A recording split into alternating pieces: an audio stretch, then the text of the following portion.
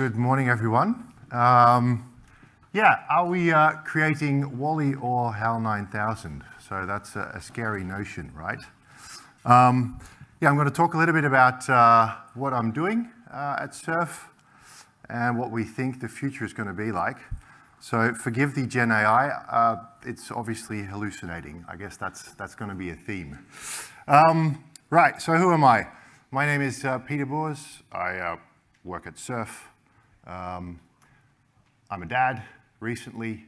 Uh, I've got a background from the US, Australia, and the Netherlands, so don't mind the accent.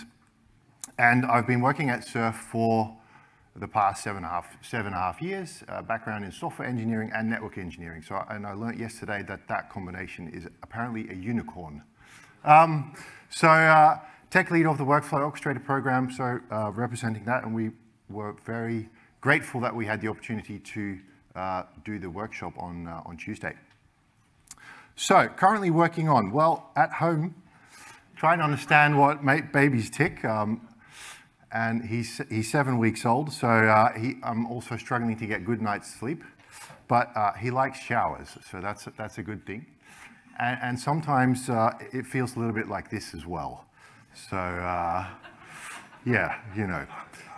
Um, okay, so at work, this is sort of my day job, right? Working on the next generation of SURF's, SURF's network, um, trying to start thinking about how we can start introducing AI into network automation uh, and network running the network. And I think one word sums it up. It's, it's called AI Ops, right? So AI Ops is what I'm going, trying to talk about today.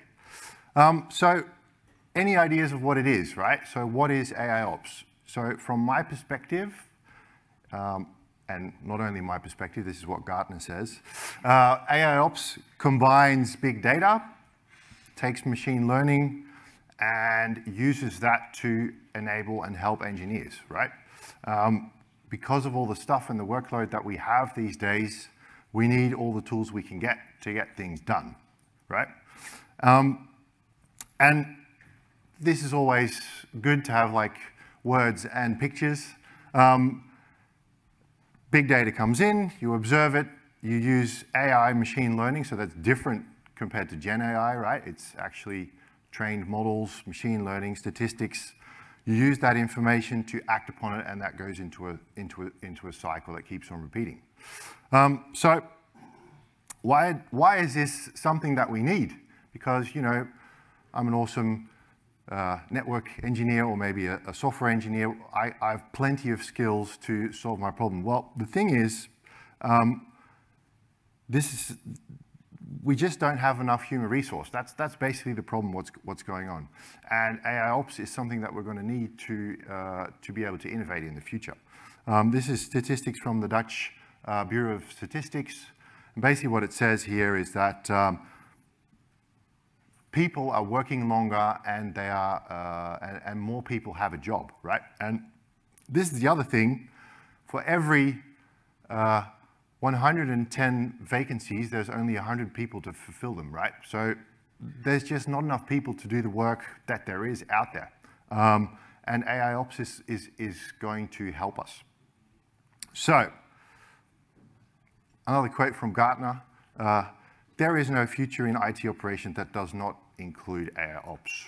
And uh, this is due to the rapid growth in data, volumes, uh, data volumes and the pace of change, right? So, so things need to move, we need to be able to react quickly, and probably we need something that's going to help us react faster than we're already reacting at this point in time, right? So,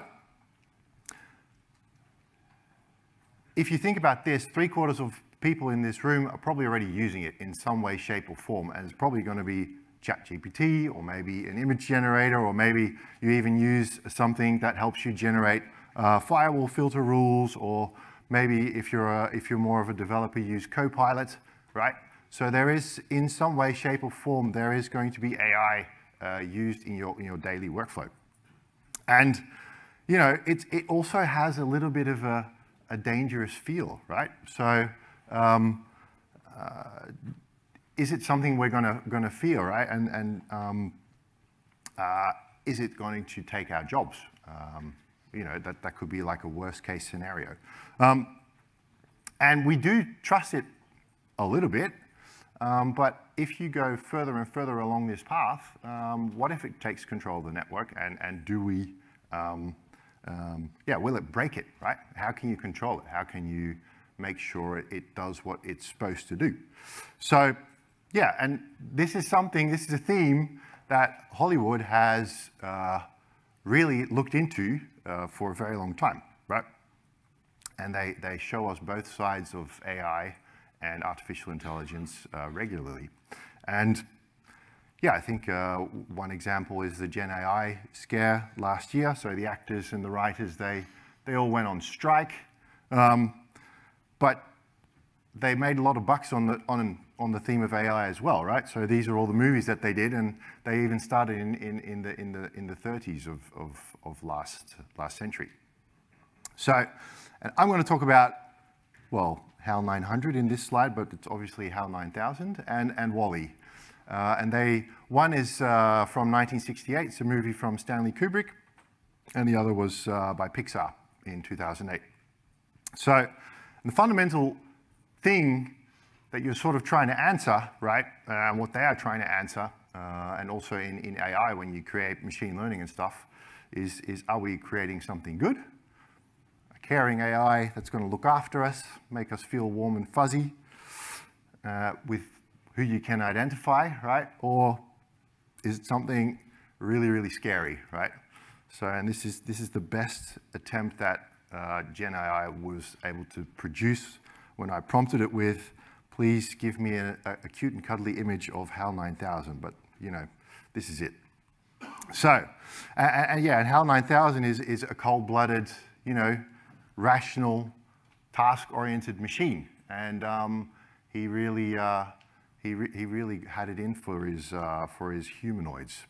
So, and the thing is that WALL-E and HAL 9000, what do they tell us about AI? Well, it's both stories with uh, robot characters, okay? They're both dysfunctional in their own way. Um, it's good versus evil, right? Stereotypical. And one is very highly specialized. I mean, he's a robot, he just compacts trash. Uh, that's WALL-E, obviously, and the other one has total control of everything. Um, and uh, yeah, should we be scared of both or just the one or the other? You know, that's, that's, that's, a, that's a question. So a little bit about the characters in this story. So I'm sure quite a lot of you are familiar, but I'll just, just do a recap um, and then you can sort of uh, understand why this is interesting. So HAL 9000 is an AI from the story uh, 2001 A Space Odyssey. And it's something that they uh, that was uh, written in or, or, was produced in 1968 by Stanley Kubrick. So HAL 9000 is the, the, the robot that controls the spaceship Discovery 1 and this, is, this spaceship is on a, uh, on a, on a mission to, this, uh, to explore Jupiter. Um, and his directive, so this is the reason why he exists, is the accurate processing of information without distortion or concealment. So, you know, that sounds pretty good, right? Um, but it goes horribly wrong, right? So he starts malfunctioning due to an order that contradicts his directive. And what was that order? Well, someone, for reasons of national security, hid the existence of an extraterrestrial anomaly to this crew, right? And this has sort of triggered uh, something that let HAL become the archetypical uh, evil AI, right, which we're all scared of. And um, yeah, he even kills part of the crew. So yeah, and, and, and in researching this, um, in researching this talk, so I came across sort of a little bit of theory. There's been lots of stuff on the internet about um, about what actually happened to Hal. So, so who recognizes this, this picture? Yeah. So, so this is uh, this by a Dutch artist, Maurits Escher. And does anybody know what this actually represents? Yeah, okay, yeah, perpetuum mobile. But on the other hand, what it also represents is a strange loop. So and this is actually what happened to, to HAL. And this is the interesting bit, right? So it's also called, known as a Hofstadter Mobius loop. And um, the, the definition of that is a paradoxical level crossing feedback loop. So what, what does that mean? Well, it's a series of levels in an abstract loop cycle that cycle around onto, the, onto itself. So I'm going to try and explain this. Uh, so bear with me. So take this sentence, right? And if you read it, you understand what it means, right? And if you think about that, um, how, do how do you actually read this? Well, you, take a sentence, you say, L, this sentence, this sentence is false, okay? And when you read the first time, you're going to evaluate it, and you're going to evaluate it as that you interpret it. So, and you're probably going to take it for face value, right? So you're going to say it's true. But if you continue, that means that this sentence is false equals to false, right? So that's, that's how you start. But if you continue, and this is the self-referencing loop, okay, so this sentence is false, is now actually false, but if you look at what I did there, if you evaluate that again, suddenly what is, is written down is actually true, right? So if you, if you see what happened there, this is, sort of, this is sort of something coming back on itself again and again, and you can do it again, right? So apparently this sentence is true now. Well, actually it's not, because when you do the exact same exercise and you read it for face value, it, it goes to false. And this sort of happened to Hal, or this is the, this is the theory that people are writing down on the internet. And yeah, it's actually pretty tragic because, um, you know, he, he, he, he kept on, he had this directive where he was, he, he was supposed to be honest, he was not allowed to hide something, but he's, someone told him that he should. So should he or shouldn't he? And he kept on feeding back onto himself. Um, yeah, and, and he could have told the crew, like, I have this directive, um, not that, that on, the, on the one hand, I, I should be honest to you, but on the other hand, I've been asked to hide something from you. Um, and yeah, that, that's, that's difficult. So how do you break that? And well, that's how, right? So and WALL-E, I mean, he's a fuzzy, fuzzy character, right? So he was, he was build, built to help us um, clean up the earth. Um, but yeah, he, he, he, after 700 years being on Earth, he was the only one left, and he glitched. He, came, uh, he became something with uh, some, a, a, robot with a, with, with a character and able to, to think for himself. Um, one of the neat things is his best friend, his name is Hal, so I wonder where they got that from, right? Um, and uh, yeah, eventually he falls in love with another robot and he saves the Earth and it's all, it's all great, right? And he, he, he's, the, he's the archetypical hero. But if you think about it, um, they all started their lives being created for, for a good thing, right? And they, they all, they both malfunctioned into a stereotype. And they also had human-like feelings and traits uh, and had free will. But, you know, if you think about it, Hal didn't really, wasn't really free and, and WALL-E either. I mean, he, he had sort of like a dysfunction where he had to compact trash. That was sort of what he had to do. And he didn't feel happy without doing that. So yeah, and this is another parallel. So these two characters are obviously the same. One's from, uh, from WALL-E, and the other one is the, uh, the prototype uh, prop that they took uh, using, uh, using the film. Um, yeah, so what do those stories tell us? Um, the, the AI, when people create it, they probably don't have any intent, um, and they, they'll probably work well when they're supervised. Um, and yeah, if you neglect it, it's going to break. And it might break in a scary way, or it might break in a very fuzzy, cute, and cuddly way, right? And um, the thing is, how are we going to make sure um, that we stay in control?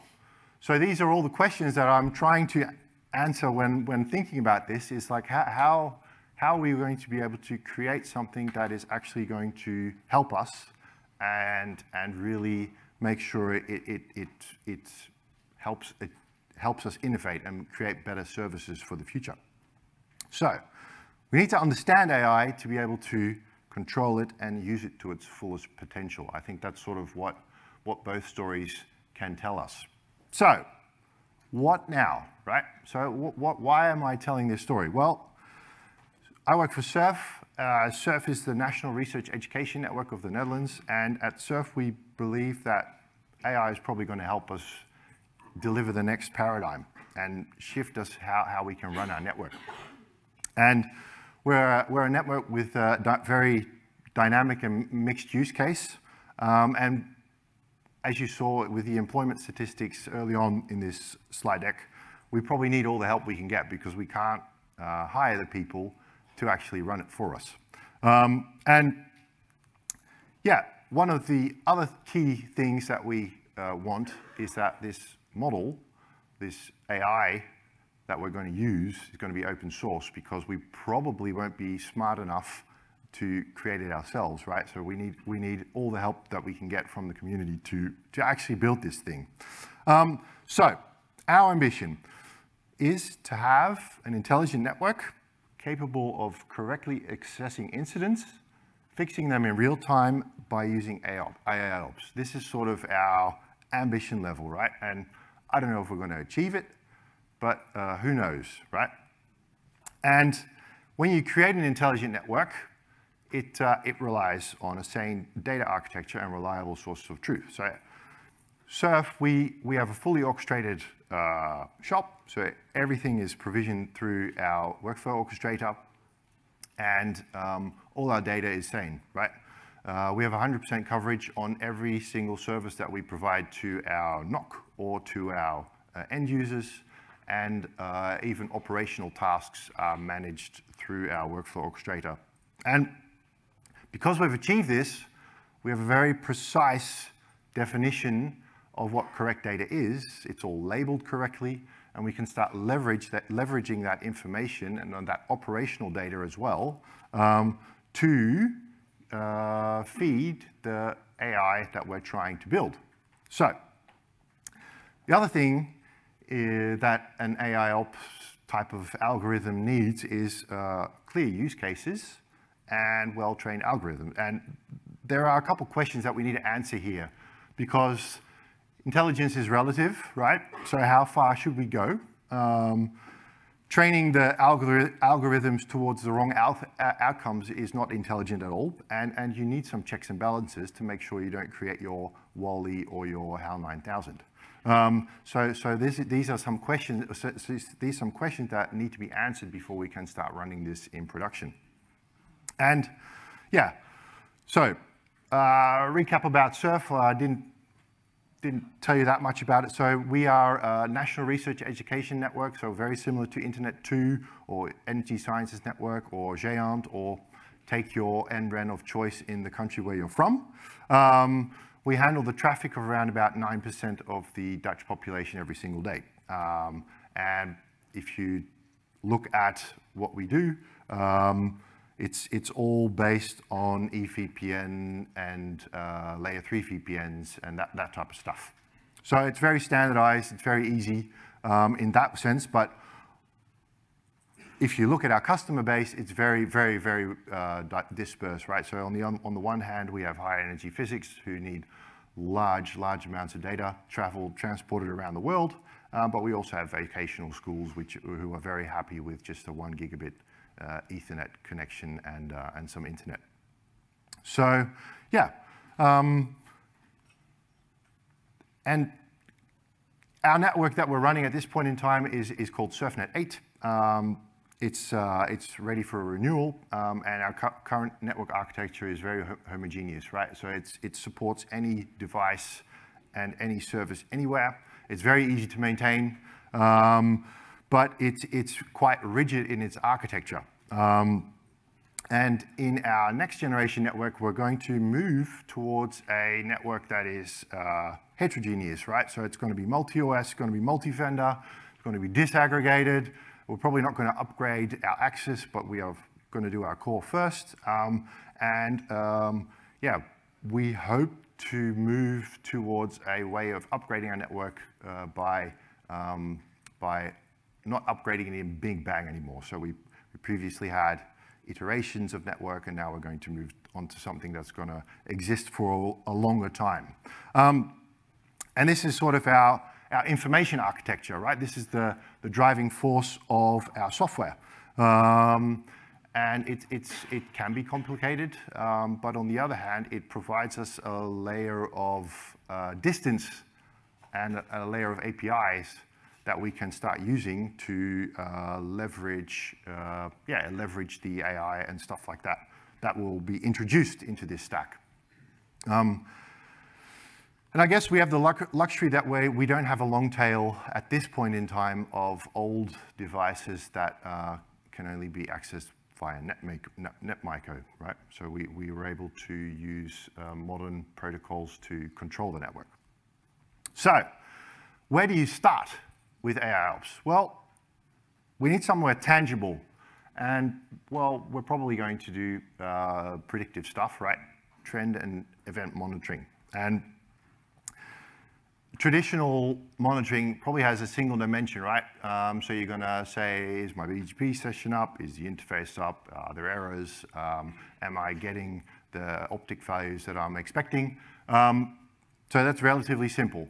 But if you think about it, uh, a healthy service that you provide to your end user is probably going to have multiple dimensions, right? So there's probably going to be multiple things impacting the performance of that service. And the thing is, once you start thinking about it, it's not as simple anymore. It's actually quite difficult, right? So how are you actually going to define a healthy service? How are you going to train your AI to understand that? And then continuing on from that, uh, how are you actually going to uh, create something that's going to uh, impactfully fix it if there's a problem? So at Surf, we're just going to try and get the basics right first. We're going to redesign our telemetry platform and make sure we get the right data uh, with the right resolution to, to train the model and um, try and actually achieve this. Keep it, keep it as simple as possible so we can understand what's going on and we don't get the HAL 9000 or WALL-E uh, uh, problem. Um, and there are a couple of high impact use cases which what we're starting on. So, and it's probably going to be our, and it's going to be our external peerings because that's, that's something, if something happens there, um, uh, we see quite a lot of impact on it for our end users, and it's something that is very visible in our uh, metrics and, and, events, and we should be able to create something for that. And yeah, eventually, uh, hopefully, somewhere this year or maybe next year, we're going to introduce semi-automatic uh, corrections to fix the problems. Um, and this, this semi-automatic thing is probably going to be something where uh, we propose an action to the user, and the, the user can say, oh, that's a good idea, AI, uh, or that's a bad idea, uh, let's not do that. Okay, so coming back to where I started, right? So this is sort of our, this is sort of what AI ops is, and this is how I understand it. Um, and this is what it's going to be looking like uh, when we run it in production, hopefully, in the near future. And you can see sort of in colors, we have an observe, observability platform. There is some purple stuff, which I'm trying to figure out what's going to look like. And on the other hand, we have the workflow orchestrator, which is going to steer the network and actually provision stuff and, and correct, correct it. Um, yeah, and hopefully in the near future, maybe I'll be able to report on the status of this, which is, uh, which, which, which, yeah, in, in the experiments that we've done so far has been promising, right? So that we've already been experimenting with the telemetry we're, we're receiving from our platform, and we're actually seeing quite well, quite good correlated data that we can use to, uh, to create actions and propose them to our users.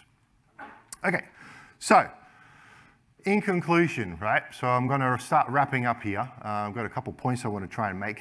Um, the thing with intelligent networks is that we need to start small and aim high, right? So AI and is, is something of an enigma, right? And we've had a big discussion at this AutoCon about software engineering, network engineering.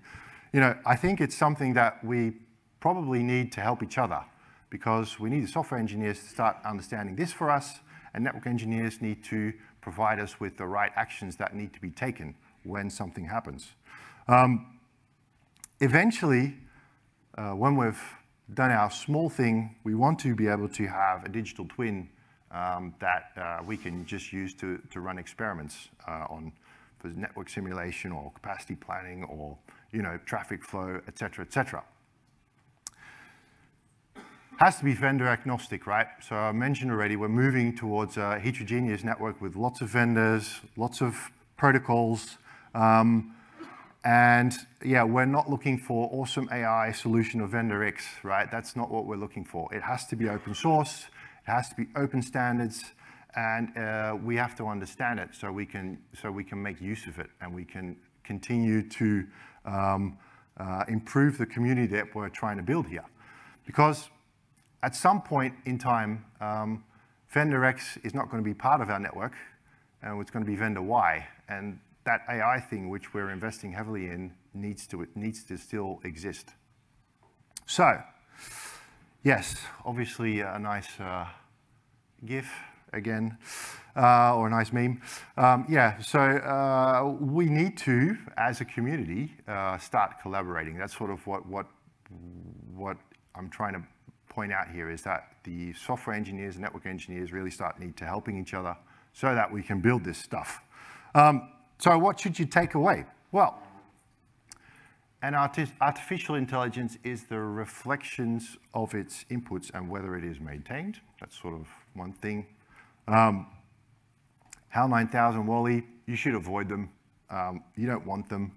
Um, you want something that's predictable, that you understand, and that really helps you do your stuff. Um, and AI ops is needed for the main ta mundane tasks on the network so we can tackle the more challenging problems that uh, occur. Um, and we have our hands free and we don't need to do any scraping of the CLI, right? That's, that's something that we want to want to move away from. Um, and I think this community uh, that we're building here uh, should be at the forefront of developing this, out, this, this, this AI ops momentum, so to speak, for, for networks. Um, yeah, I think there are enough smart people in this room who should start understanding, understanding this problem and how we can fix it. And says open config here, but you can set replace this for any other um, technology that may be out there, right? I really think we should look at other communities like the cloud native community um, and, um, and, and, and that type of, that type of uh, ecosystem where you see that they're able to create APIs that can be consumed by anyone, and they don't need to understand the underlying problems, right? So they don't need to understand the underlying implementations. And if vendors are able to provide us with APIs that always look the same, we don't care what type of infrastructure or what type of um, um, um, yeah, box it's running. We, we really care about running the network and providing a service to our end users. That's what we care about, right? Um, so, automation enables orchestration so we can unlock the potential of an intelligent network. That's sort of what I think uh, is, is the key here. So, that's it. That's all I have.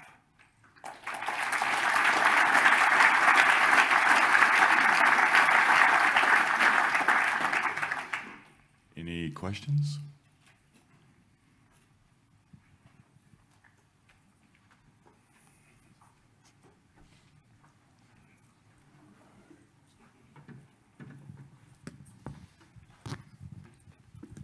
Uh, hi. So uh, one question about the open config. You, uh, I like the statement we would we need to ask the vendors to build it, but open config is there for a while and the vendors still implemented like 5 to 10% of the capabilities on the devices. Yeah.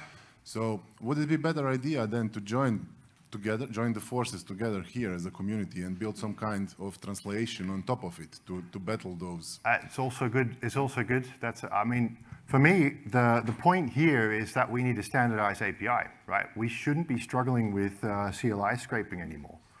And that's, uh, that's, that's what, um, that's what happened in the, in the cloud native community is that they don't care about if your, uh, if your, uh, your workload is running in uh, Docker or Containerd or on Podman or whatever. Uh, same for if you, use, if you need an ingress uh, to get Traefik onto your workload. You don't care if it's Nginx or if it's uh, traffic or whatever. Take your pick. What you care about is uh, a standardized API and that you can predictably uh, get something done. And maybe OpenConfig is not the right tool. I'm not sure. But it's sort of the, the thing that sort of makes the most sense to me at this point in time. But uh, maybe we can think of something else. No, no, definitely it's a good thing, OpenConfig. But I, am more uh, onto the point that maybe we should build the layer on top yeah. of the big vendors and uh, maybe we should leverage OpenConfig yeah. more. Yeah, we way. saw a good project uh, yesterday, Kubenet uh, from uh, from Nokia. I think that's that's that's probably a way forward, right? Um, but there might be an, another another tool as well. Yep. Uh, I couldn't disagree with you more. That's what I was hoping for.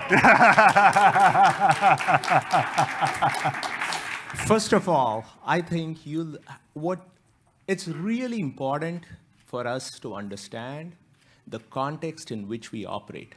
Microloans were a great solution. The guy who came up with microloans got a Nobel Peace Prize.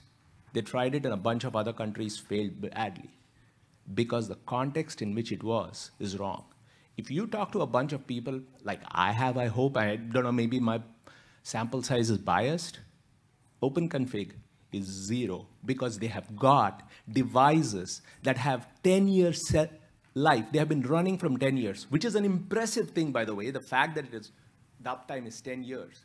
But it is also the fact that they're not going to bring it down because if it ain't broke, don't fix it. Yeah. So, and I, I, so the first thing I would really, really like us to stop as a community is, oh, let's do open config. Oh, let's get a standard API. You're not going to get it. Right. The more we pursue this myth, can the I, longer we will be here. Can I react to that? Because I, I, when I'm done. I thought about this and I was expecting this question, so I'm very glad it came. Um, so yes, indeed, um, uh, OpenConfig, we have a long tail install base, which is, is definitely true. Uh, we need to uh, work with that. Um, but if you don't fix the problem now, you're going to be stick with the same issues in 10 years' time. Right? We so had we the same problem so from we, SNMP. So it's not to, changed. So we need to make sure that we fix it. And they were able to do it in other communities, right? So there is no reason why we can't. And it's other communities work very differently. Nginx people don't sit down and say, how does Fla uh, Flask have to do? Flask does not sit down and say how FastAPI has. None of them coordinate in the way you're thinking they coordinate. This is the big problem of the networking community. We somehow think the vendors will get together, or we will tell the vendors to get together, and we'll all sing Kumbaya. Yeah. Ain't happening. And I'll, I'll give you another example of, uh, of something very inspirational that, uh, that we had, that I, that, I, that I saw. So at uh, KubeCon 2018, uh, Kelsey Hightower, Hightower, who's staff engineer at Google, got on main stage and called out um, his own people, uh, and I'd definitely recommend looking at YouTube. So he called out his own people at Google and said, look guys, take a look at what Amazon's doing and just, just help the platform engineers to deliver services instead of forcing us down a route where we have to learn how Nginx works and how Nginx can be configured, but actually um, enables the, the, the, the, the users to deliver the value to their customers, right? So it's, it's about enabling the network engineers to do automation, and um, we need to start at some point, right? Now we have three different things. Multi-cloud. Google does it one way, the same thing. Amazon does it differently. AW, uh, Azure does it differently, and Oracle is doing it differently too. So this problem of what network vendors did is happening in the cloud, and this is real. Yeah. So my point to you is that I think nobody, this attempt to keep on saying we will do things and it will somehow magically work is what is going to stop us, or as I put it, AutoCon 21. Why have we not yeah, and I guess, I guess maybe I'm naive, right? And I'm young, so uh, forgive me for that. Uh, I don't have the experience and the gray hairs, uh, but uh, I, I, I, do have some hope. So, you know. All we can do is learn. Yeah. Doesn't matter. I can have gray hair and be completely wrong. Arthur C. Clarke, the guy who did uh, HAL 9000, by the way, Mm-hmm. it was not Kubrick, it was a book by Arthur Yeah. C. Clarke, and his first Sure. law was when a gray-haired scientist says something is possible, usually it is. If he says it's impossible, it's not. But there has a caveat, except for people who continue to see that it's tried and tried and it doesn't work because of the. So unless we change something fundamentally, it's not gonna happen. Yeah, and that's true. Unless we change something fundamentally, it's not going to happen. And I propose that we try and get together as a community to, to do it a different way, right? That's sort of what I'm trying to say here. Next question. Was there first something there? Ah. Yeah. Thank you for the talk. Um, I was wondering about the data you are gathering, um, mostly training an AI network or, or a model, it takes a lot of data. Are you gathering enough data from your own network or are you running simulations in lab? Yeah, good question. So um, we're, we're, we're using, uh, at this point in time, been experimenting with uh, two vendors, uh, Juniper and Nokia, and also, no, actually, and also with Ribbon, um, gathering data through GNMI and also Syslog. And we're feeding that into, um, into the, uh, I'm, I'm getting some help from the HPC guys at, at Surf to, uh, to start training the model. And we don't need that much data, actually. So we've, be, we've been doing give me everything uh, as fast as possible, and we're trying to narrow down uh, what we actually need. And we're, we're seeing in the first results that we don't need that much data actually to get something, something predictable.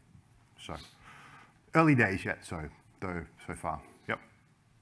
Yeah, it's it's Wim here now. Yeah, I wanted to be a bridge between Dinesh and Peter uh, because I do agree with Dinesh is that changing the vendor implementation of an open config and stuff like that is, is hard because we have a certain data model and all the applications that sit on uh, be- beneath use it, right?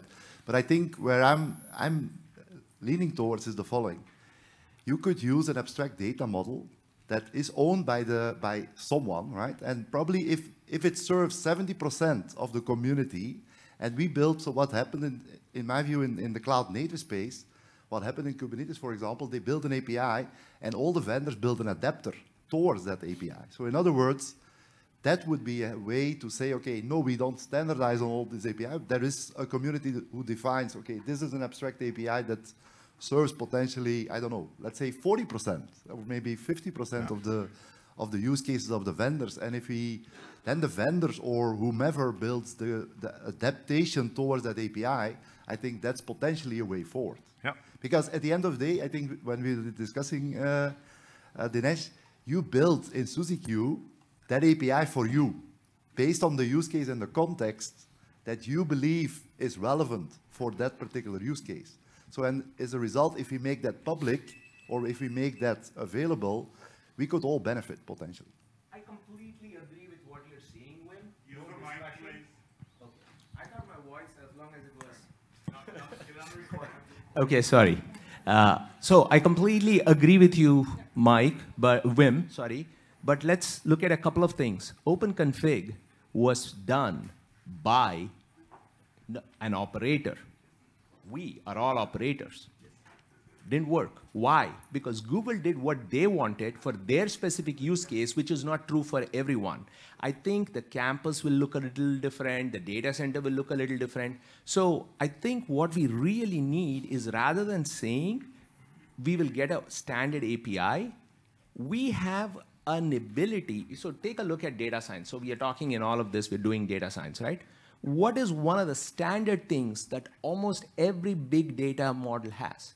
They have something called translators. Those translators are not something that the vendors build because they may they will not do it for you. You will have to do those things, which means someone, SuzieQ, some other tool, whatever, it doesn't matter, will have to do the screen scraping, come up with a model which looks fine, and then someone will have to take that and write translators or you know what in object-oriented program is called is called a facade pattern to just make those translation. That no arguments. That I don't have. But again, we are not relying on anybody to give us a standard API. Yes. I agree with you, buddy. Uh, So that's what I'm trying to say. Yeah. But, but I, I, I wanted to uh, add one more thing. If I may, right? I'm glad it's Is very that- controversial, this uh, topic. No, no, no, Thank I you. I, I, I don't have to do anything here.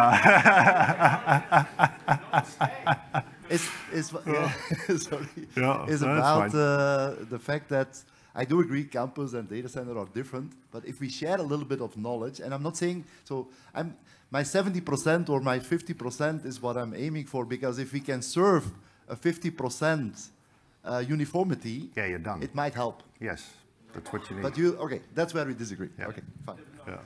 Um, I wanted to bring maybe another perspective in the discussion. So first, I I agree with Dinesh actually. I think the, the myth of having the single vendor API, I think it's, uh, it's bonker. But personally, I think it's even, there's another problem. Like what I've, so first I'm, you know, right now I'm focusing a lot on source of truth, but I've, I've been working on telemetry for years. Been, you know, my second uh, biggest topic. And personally, what I feel like what we're missing today is actually a model on how we store and query the telemetry.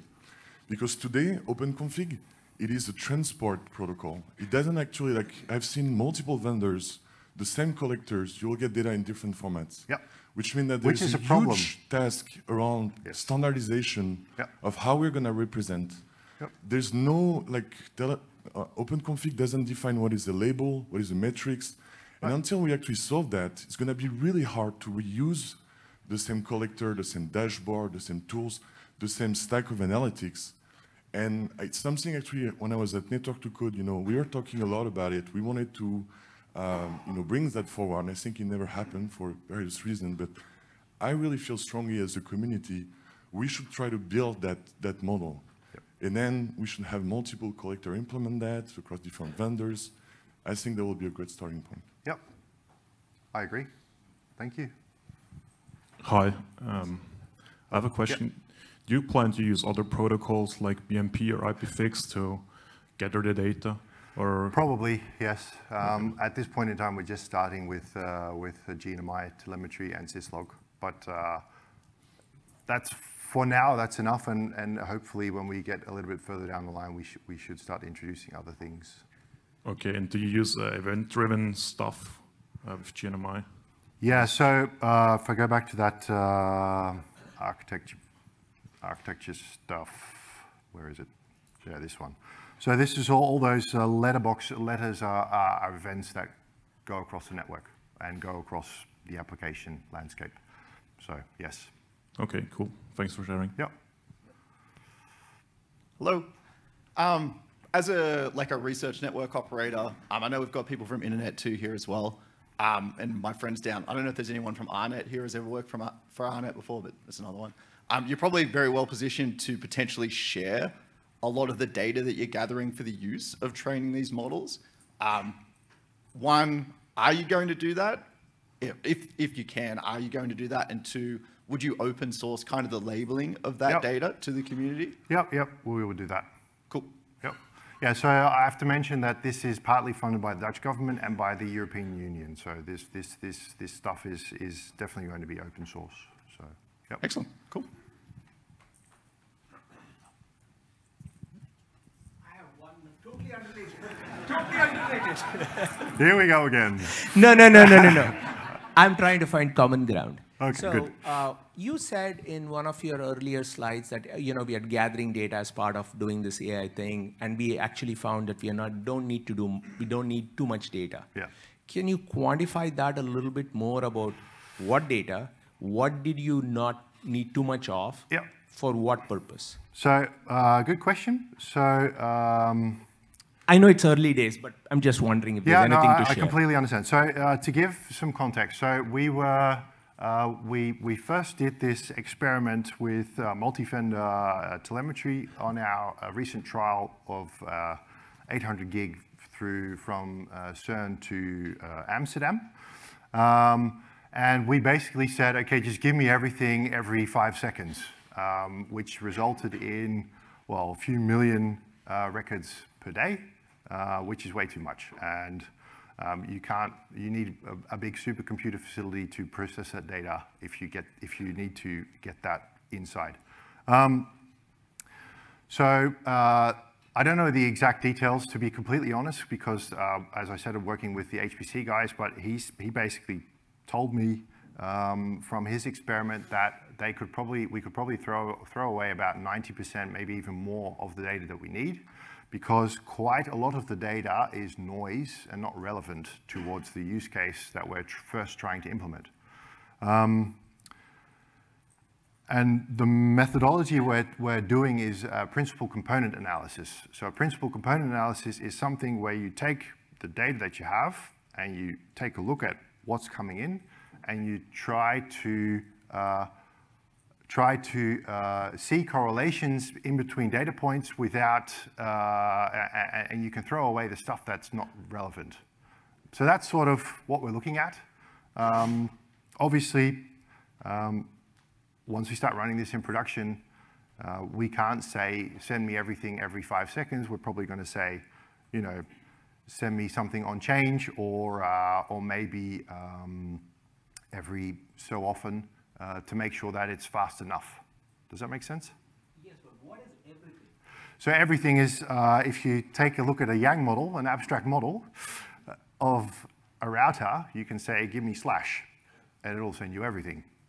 So that's the whole tree. So that's interface, counters, uh, optic levels, but also configuration.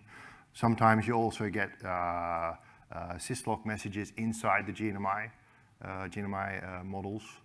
Um, so, so, so it's, it's basically every single data point that you can get from the, from the router, um, memory, CPU utilization, power levels, uh, you know, everything, fan speeds, the whole, the whole shebang. Yep. So um, I wanted to bring the focus actually back to Dinesh.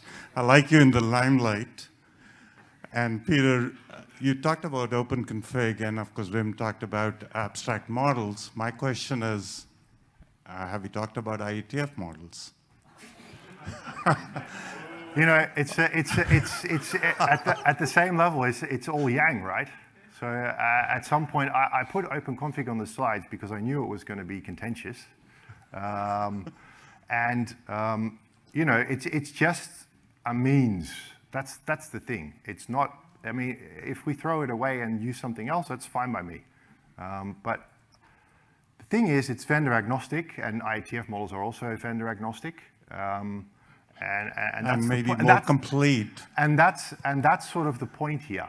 The point is not what we use, it is the fact what it, bring, what it might potentially yep. bring us, right? Right. Okay, so any more questions? Right. Um, yeah, thank you very much for the talk. Um, I wanted also to explore a bit on the AI. So your ultimate use case, as I understood, is mostly about kind of a self-healing network, right? So it's operational support and self-healing. So do you look at any other data, any data other than the network data? I will give an example. Um, I'm also trying to build something like this. So we use Elastic, ELK, mm -hmm. right? And uh, we use Elastic as the kind of a data lake for all of the telemetry that our organization has, not only the network. Actually, network is not there yet. We are in progress because it's kind of painful to pre-process network data for ELK since NMP plugins are not working very well and all. But what we found is that uh, the network monitoring and observability is pretty self-sufficient, right, within the tools that we have today in our portfolio because it's actually a bunch of protocol. It's not uh, the data is not complex enough for it to be processed with AI. However, if you send it into the same data lake where all the applications log, all the other pieces of infrastructure log, yep. you can really build a beautiful correlations there. Yep. Now, what I wanted to say is that um, like you have a case when you can monitor TCP discards on the spine, right? And you can figure out that something is wrong with your hypervisor. Yep. Now, the problem here, I think that AI would help with is that it's uh, kind of, I guess, ties back to the open config, but different, uh, and I think it's what Damien said, right? So different vendors send the telemetry in a different way. And uh, for every way, you have to write your own parser, right? So that's where I could help, right? So get an insights, what your log message, you know, using LLM, figure out what insights does a log message send, and uh, figure out how to parse it automatically. And send it in structured way. Because the further anomaly analysis, it's not a know-how already, right? It's uh, like most of the most of the open source logging system will do this anomaly analysis for Yep. you. So it, I guess it just was a comment. Uh, Yeah, the exactly. I was like, what's the question? the question, the question was, do you do you also analyze? Are you planning to analyze the information from the other data sources other than the network? Yeah, good question. Uh, I think that's that's that's a valid point. Um, and I guess the answer is probably yes, but at this point, no, because we have to start somewhere. But uh, yeah, I, I do see a use case. So we're an ISP, so we don't get like TCP stuff because otherwise we'll be um, inspecting the uh, traffic of our end users. Probably not what they want. Um, but there, there, there might be environmental stuff or other things that we haven't thought about yet that we could introduce. All right. Hi. I just um, wanted to ask you a question. I saw that you had L3 VPN as your, one of your services. You had eVPN, L3 VPN. Now, we had a question about IETF models. So um, I kind of wanted to ask you whether you have used any of the, or even considered investigating the IETF models for those uh, services, because uh, RFC 8299 defines L3 VPN from the customer service point of view. RFC 9182 defines it from the network resource point of view. And then open config really is at the bottom, right, per device. Now, have you kind of looked into that? And is that something that you, you, you know, Yeah. to use in your network? Yeah, valid point, valid question. Um, so to be completely honest, we have our own models, obviously, at Surf because we're, that's what we did. Um, and probably uh, we should look at those models. I mean, do you think that there's value from an AI ops point of view in terms of maybe pushing your standardization up the Yes, stack beyond think so. just, you know, the devices? Yes, I think so. I think uh, that the, if it becomes a higher order abstract- abstraction for the um, end users, it be, be, becomes easier to reason about what you're actually looking at. And obviously, there's going to be a lot of implementation detail uh, underneath and lots of translation layers that you need. But if you can look at something and understand and reason about it in a way that is um, that doesn't matter what vendor you have, that would help quite a lot. So, so you think that perhaps if you did it at that level, you wouldn't have to really care about OpenConfig? Yes, correct. Yeah. Because you could then say, take your L3 VPN definition from Yeah. X network and just Yeah. say, well, let's do it over here. And as long as they understand how to implement that in whatever devices they have, I don't care. don't care. And, and there, there is still, and because it's more or less the same, right? There might be nuance between the implementation of a layer 3 VPN somewhere else, and there might be some other knobs turned, but the, uh, the, the broader scope of what it is is exactly the same. So it's just a layer 3 VPN. Yeah, I mean, I, I agree with you because I've seen the same in projects I'm working on. I mean, I'm from Juniper Networks, Mm-hmm. that's full disclosure. Um, and I've seen the same in projects I've been working on where that, that extra kind of like dimension, Yeah. that instead of treating it like, okay, the standard's all this big flat land of devices, that there's actually two layers on top of that. Yeah. And when you start considering those layers and actually standardizing them, you can even forget Yeah. about the devices altogether. and Just Exactly. be like, I want this network. Well, and that's, that's exactly my point. And that you can then use on the AI because that's a standard. You can deviate from it, what, even if you make up your own. But Yep. the point is it's in Yang. Exactly. But, but you got to have those layers. Yep. So that's been very useful Yep. for us. So, Yeah, so no, I completely, ex- I completely agree with you, and this is sort of also the topics we touched on in the workshop on, uh, on Tuesday, is, is you need to have sort of a design and then extra layers, because the extra layers will help you reason about things, and the implementation stuff is, is, it's important, it's very important, because otherwise it's not gonna work, but it's not something that you're going to expose to your end users at all, right? They're more interested in, okay, I need to be able to turn this knob to make it function for me. Um, they don't care if it's Juniper or Cisco or Nokia or take your pick vendor X, you know. Last question. Right. So, so actually, not really a question. I feel like we're more on a brainstorming. So wanted to bring one more thing. Personally, I feel like when we talk about telemetry, you know, there's a lot about enriching the data. And I think there's a lot about actually getting the information about the topology, all of that, that usually for me lives in the source of truth. I'd love actually for industry to start thinking of how we can have a standard interface on how we can expose the topology data and all the information that are very important to those telemetry stack. Because today everything I've seen has been very bespoke because we don't have those. We don't, we don't even talk about that. So if we could actually expose that in a standard way, then I think as an industry, we will be able to build you know, better end-to-end solutions that are not tied to specific vendors or things like that. So I'd love to work on that if people are, are motivated. Thank you, Peter. No worries. So, yeah, that's it. Thank you. Yep.